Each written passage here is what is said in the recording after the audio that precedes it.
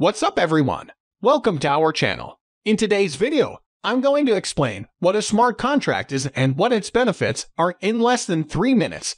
Before watching the full video, please subscribe to our channel and hit the bell icon to get instant notifications. Jumping straight into it, smart contracts actually date all the way back to the 1990s when they were first introduced by an early cryptographer named Nick Szabo. He described vending machines as primitive ancestors of smart contracts since they take payment and dispense products according to a displayed price without the need for a middleman.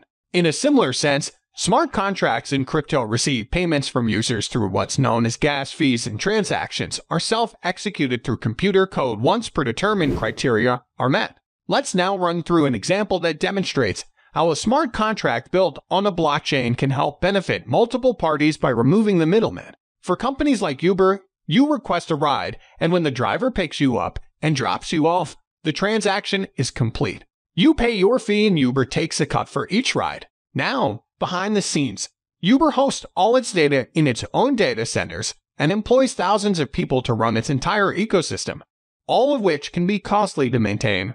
On the other hand, if someone were to recreate Uber on a smart contract platform like Ethereum, the data would all be held in computers owned by individuals all over the world that are running the Ethereum network and thus not require as much an overhead cost. As a result, for each ride, a smart contract would execute, and the gas fee you pay to the Ethereum network would theoretically be a lot smaller than what you would pay Uber. Let's next go over the five key benefits of smart contracts that you need to know. First, as we've discussed, smart contracts get rid of the middleman, which leads to cheaper transactions. Second, smart contracts can be built on top of blockchain, which helps create decentralized platforms that reduce the reliance on one single centralized entity. Third, smart platform contracts like Ethereum provide the infrastructure developers need to easily and cheaply build transaction-based applications. Fourth, because smart contracts are written in code, transactions are irreversible and trackable, which leads to a lot more transparency and security.